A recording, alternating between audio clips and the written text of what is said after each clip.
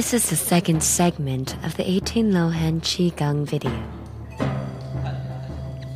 As previously explained, these exercises are intended for people who are engaged in the study of martial arts or engaged in sporting activities and wish to improve their performance. The first tape covered exercises 1 through 9. In fact, each exercise is made up of three parts a yin part, a yang part, and a balancing part. Exercise number 10 is called Green Dragon Undulates His Tail. All three of the moves in this exercise involve the development and use of cross energy.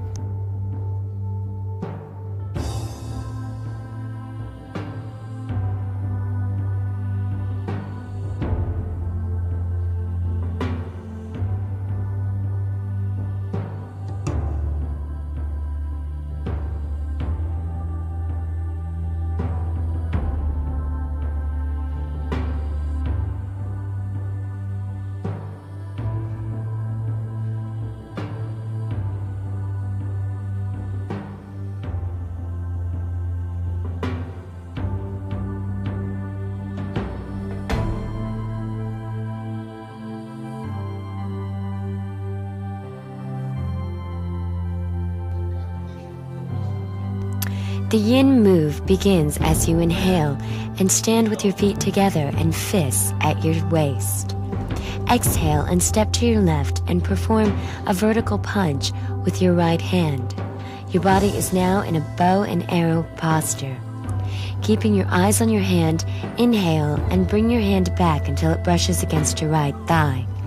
Exhale and bring your hand up above your head as you snap your head to the left. Repeat the move on the other side. Do it a total of eight times. This move may also be done by stretching rather than punching the arm forward. The yang movement begins by inhaling as you stand with your feet together. Exhale and step with the left foot first and rotate your left arm around until it is behind you.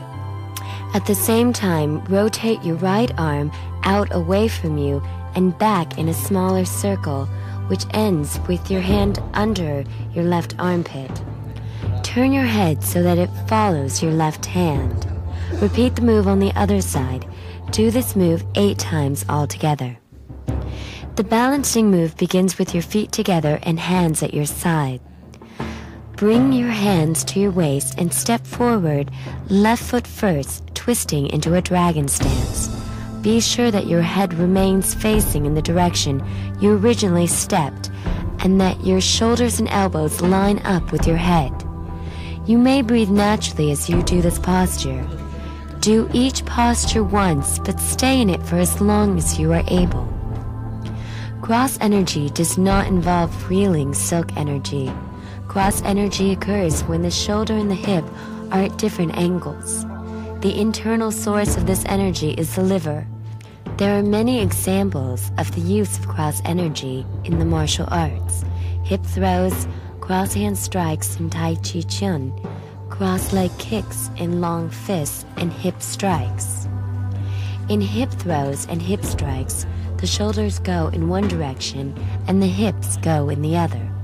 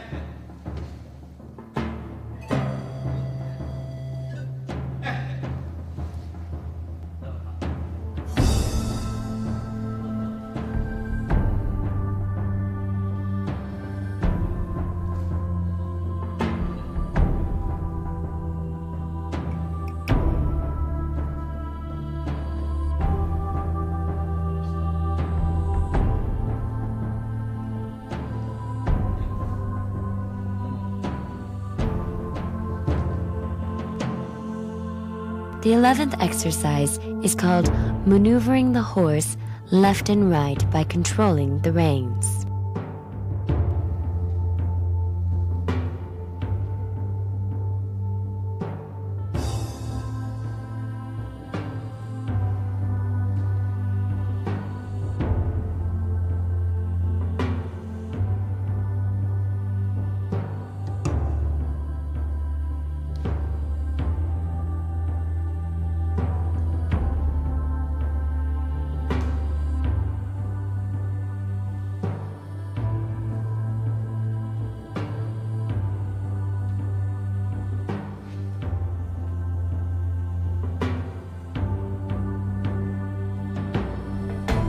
The movements are designed to strengthen the diaphragm, which is involved with breathing and bringing qi to the dantian.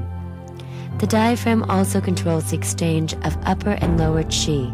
The first two moves in this section use regular breathing, and the adjustment move is reverse breathing. The first movement is a yang stand with your feet together and fists at your waist. Bring your left arm around and clasp your right forearm. Kick your left leg, toe pointing forward and forcefully extend your arms. If you can't kick, just bring your knee up. Use your diaphragm to exert your power and then using your diaphragm, hold this posture for a period of time. Repeat the move on the other side. The yin movement begins on an inhalation with the feet together. Step to the left and exhale into a bow and arrow with the left elbow striking an imaginary opponent. Notice that the right palm reinforces the left arm.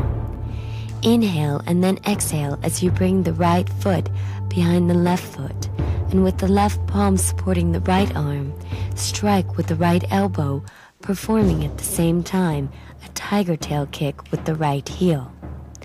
Try to make the right elbow strike and the right heel kick both face upward.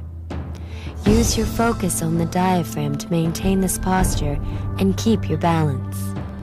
The adjustment movement begins by standing with your fists at your waist. Step backwards on the left foot, punching up and forward so that your back and arms form a straight line. As you do the posture, inhale, but have your stomach, including dantian and diaphragm, cave in and contracting as you are in this posture. Exhale while stretching outward with your arms and expanding both the dantian and diaphragm. Keeping this stance, inhale again, compressing both the dantian and the diaphragm, and exhale, stretching the arms for at least three breaths. Your stance should now be 70 30, with the 70% of your weight on the back foot. This move involves reverse breathing, which means that when you inhale, both the dantian and the diaphragm contract.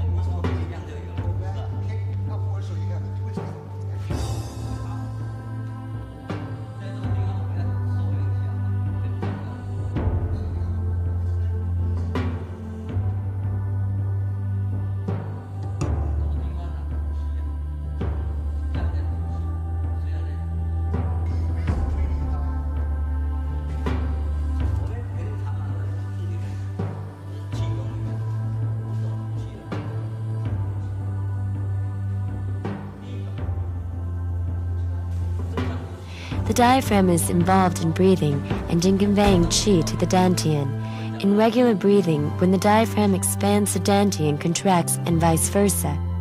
There are five types of breathing in martial arts. The first is irregular breathing, where the dantian expands as the air is inhaled.